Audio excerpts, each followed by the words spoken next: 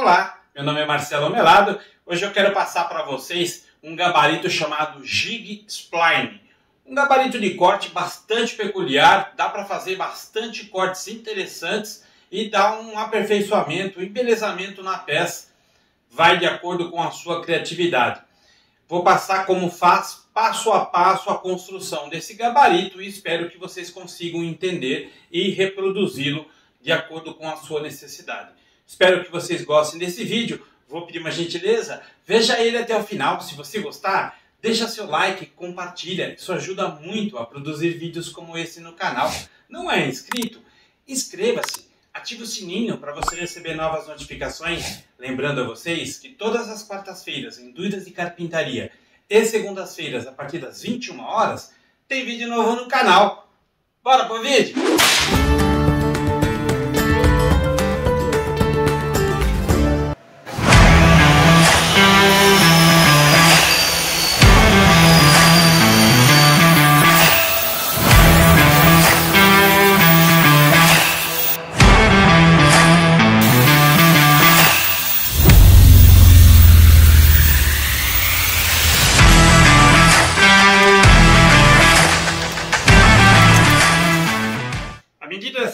Tem 30 centímetros por 40. Os trilhos que foram feitos, cada serra de bancada tem as suas medidas. A medida para essa serra de bancada da Devote é de 19 milímetros de largura por 9 milímetros de espessura, de profundidade.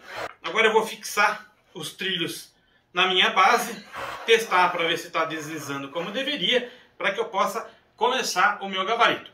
Aqui é a base para qualquer gabarito, ou seja, eu preciso dessa base muito bem fixada, muito bem esquadrejada para eu poder continuar meu gabarito. Eu sempre vou utilizar a guia paralela para poder me guiar aqui na, na, no posicionamento com relação à serra para ver se realmente está esquadrejado.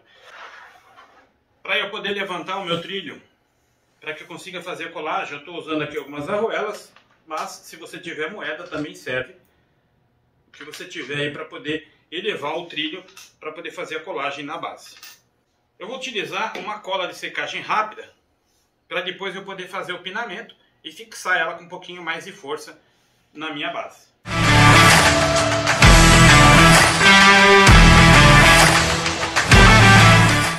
Pode colocar um pezinho em cima, no caso eu vou colocar a tubia, ela é bastante pesada, o suficiente para fazer a secagem e eu poder retirar e fixar ela com o pinamento.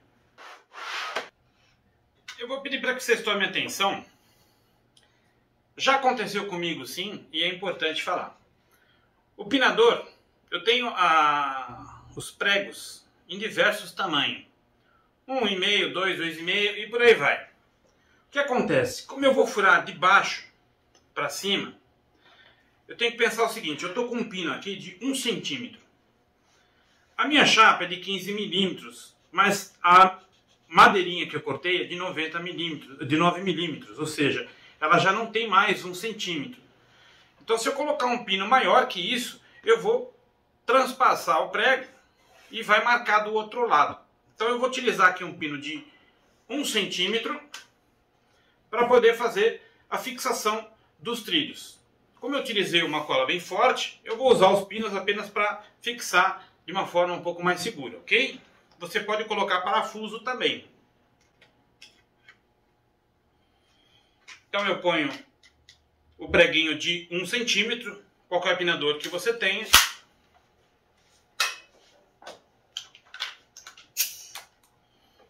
E vou fazer a pinagem. Um conselho, pina sempre nas pontas, para poder dar mais firmeza e aderência no trilho. O pino vai entrar com bastante pressão, então ele não vai deixar a cabeça do prego, mesmo que seja pequenininha, para fora. Eu vou fazer agora dois cortes de 15 centímetros de espessura, lembrando que aqui a medida tem 30 centímetros de acordo com a base. Depois dos cortes feitos, o que eu vou fazer? Eu vou posicionar a minha madeira, porque agora eu vou fazer um corte em 45 graus para poder fazer a inclinação das minhas bases. Quando eu inclinar a minha serra a 45 graus, o nível da serra ficou mais baixo. Então eu posiciono a madeira novamente e vou elevar até que ela passe um pouco para poder fazer o corte.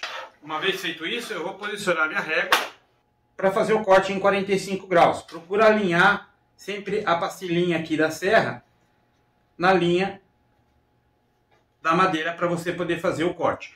Uma dica aqui, se você tiver uma régua, uma madeira, seja lá o que for, é você posicionar ela na serra para você saber aonde ela vai passar. É uma régua, é uma linha para você poder ter uma referência, para poder cortar o menos possível da madeira.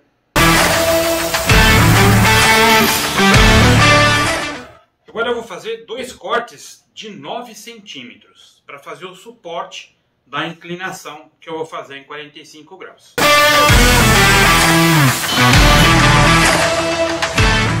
Para eu fazer esse corte em 45 graus, como é que eu posiciono ele aqui no gabarito? Eu encosto ele do lado que eu queira cortar e ponho a vértice dele bem no cantinho do corte, é exatamente onde vai passar o corte aqui para eu fazer essas peças em 45 para eu poder fixar lá a minha inclinação também em 45 graus. Perceba que todos os cortes aqui são feitos em 45 graus. Eu vou fazer um corte agora paralelo de ponta a ponta para poder colocar o trilho T-Track para poder usar um limitador de distância. No vídeo anterior que eu fiz, eu fiz um gabarito hexagonal e me perguntaram se eu não tenho tupia, eu não coloco trilho T-Track. Sim, claro, você consegue colocar usando a serra. E eu vou fazer nesse mesmo sistema agora, utilizando a serra para colocar o trilho T-Track.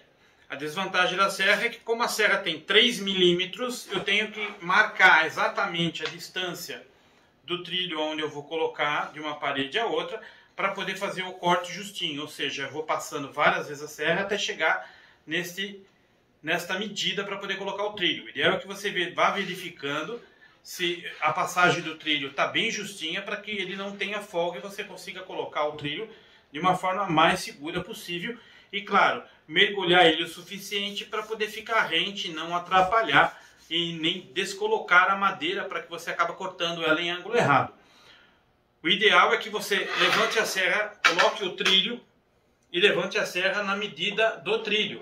Ou seja, você tem que ter uma sensibilidade a ponto de perceber que ela está bem rente ao trilho. Ou seja, o suficiente para poder encaixar o trilho e deixar ele o mais paralelo possível com relação à superfície da madeira para você poder encaixar o trilho. Então aqui eu achei a posição da serra, eu passo aqui, eu sinto raspar o meu dedo bem junto com essa margem do trilho para eu poder fazer o mergulho e encaixar ele aqui perfeitamente.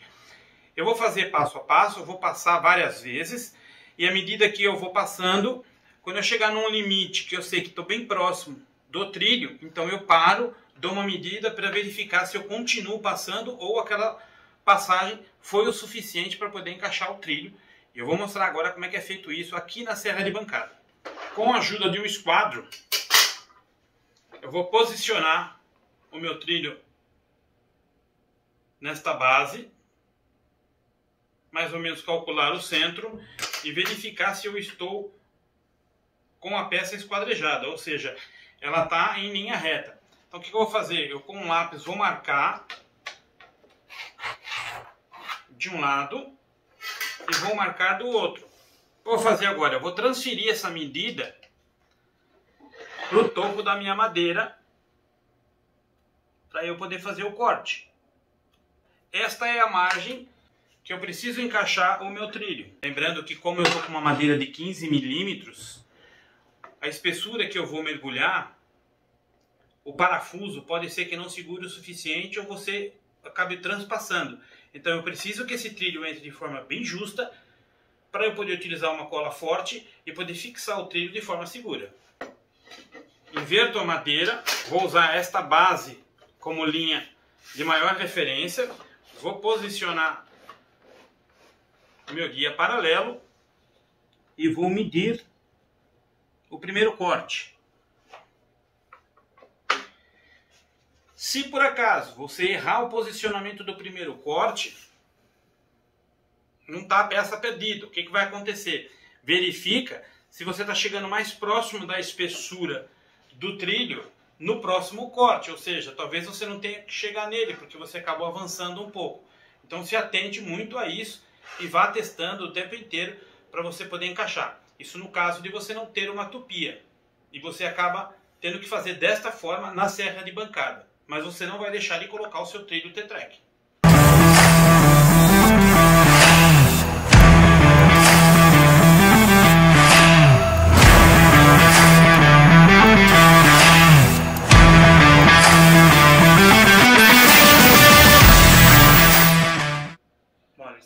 Justinho, ele entrou justinho.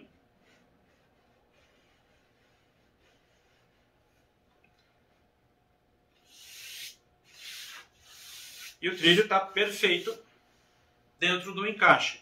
Não há folga, corte bem limpinho e a profundidade perfeita.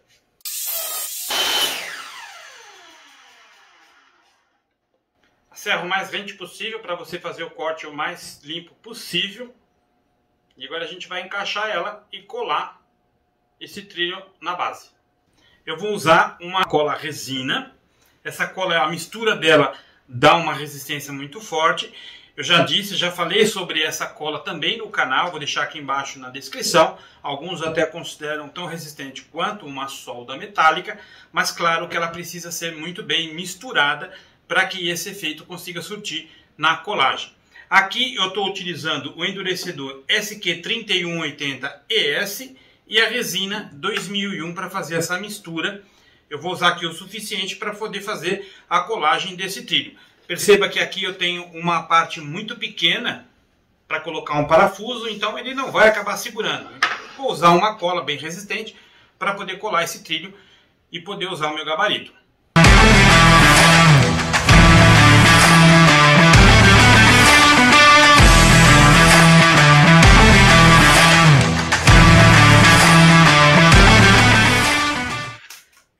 30 centímetros e 30 centímetros. Então eu vou posicionar na metade e vou colocar 15 centímetros desse lado também para poder me orientar. Procure fazer isso com um esquadro para que você alinhe corretamente. Claro que a peça tem que estar perfeitamente esquadrejada. E aqui eu vou traçar minha linha. Uma vez que eu fiz essa linha para eu poder me orientar, o que, que eu vou fazer? Eu vou verificar o posicionamento dela está correto. Então eu vou fixar ela com uma cola rápida e na sequência eu vou encaixar desta forma para ele poder apoiar e eu manter fixado. Eu vou passar uma cola de ponta a ponta. Vou dar alguns espaços para poder colocar a cola rápida. Agora eu venho com a cola rápida, procura colocar a cola rápida no laminado e não na parte porosa, porque aqui a, a cola vai chupar, vai, ela está tão ressecada ela vai acabar não aderindo. Então põe aqui na, no laminado e vou passar cola nesta base. A cola aqui, ela não entrando em contato, ela não seca tão rápido, então dá tempo de você poder fazer a colagem tranquilamente.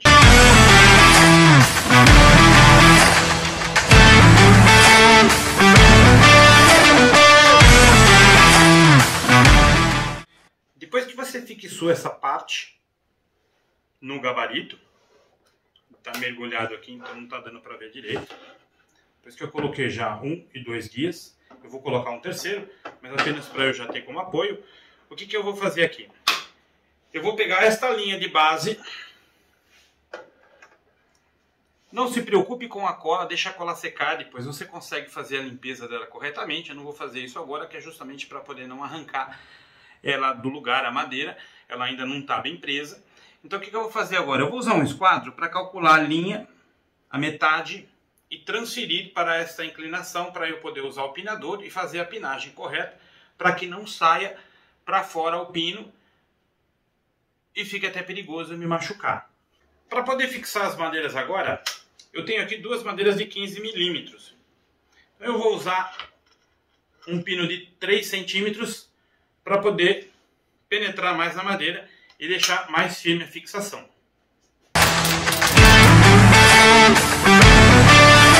e venho com essa parte para poder fazer o apoio. Vai verificando o tempo inteiro para saber se você está na posição de 45 graus, porque aqui você ainda está com a cola ainda não seca, então você consegue corrigir a posição do gabarito. Ele precisa ter exatamente 45 graus. Vou colocar minha terceira madeira longe da, do centro do gabarito, para que não tenha perigo da serra passar aqui no corte. E desse lado, vou fazer a mesma coisa, só que eu vou colocar desse lado, mas sair fora do centro de corte para eu ter mais firmeza ao empurrar o gabarito. Depois que eu fiz o furo, eu vou usar um parafuso. Esse parafuso tem 50 milímetros, 5 centímetros por 5 milímetros. É um parafuso sextavado. O que, que eu faço agora? Vou colocar o parafuso na madeira, ponho o parafuso dentro do trilho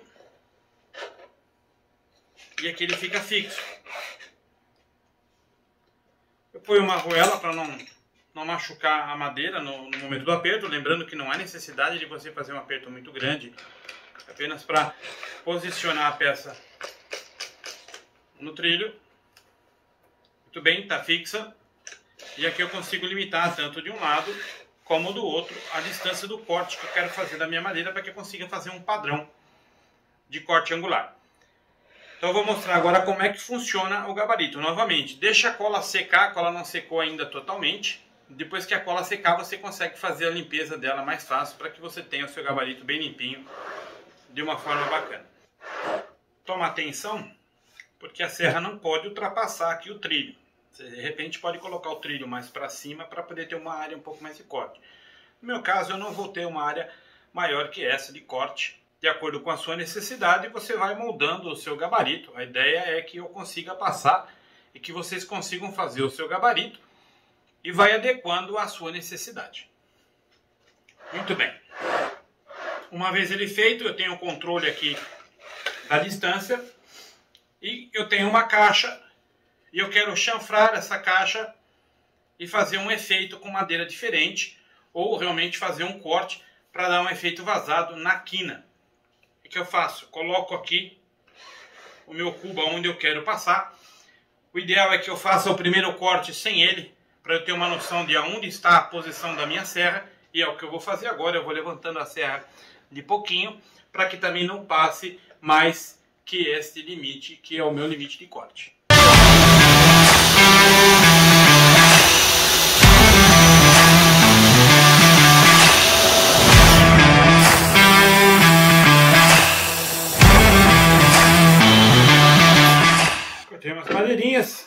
Aproveitei para fazer um rasgo um pouquinho maior de 5 milímetros, que eu já tinha aqui as madeirinhas de 5 milímetros. E eu vou colar as madeirinhas agora aqui, dar acabamento na caixinha, para vocês verem que dá para fazer bastante coisa aí, vai de acordo com a necessidade, você pode ir abrindo mais também, depende de quantas passadas você quer, o que tipo de, de rasgo você vai fazer. Mas esse gabarito facilita você usar essa técnica e além de, de aperfeiçoar o corte, embelezar também bastante a peça e dar um charme, um requinte diferente naquilo que você está fazendo. Então vou montar a peça agora e finalizar ela para você dar uma olhadinha.